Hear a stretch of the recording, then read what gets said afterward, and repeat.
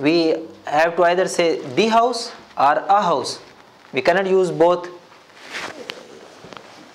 If we say here ana fil baytin. Ana fil baytin. Okay?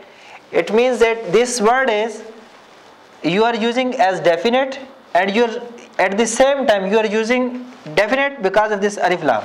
And indefinite because of this double kasra so you cannot say ana fil baytin i am in in the a house.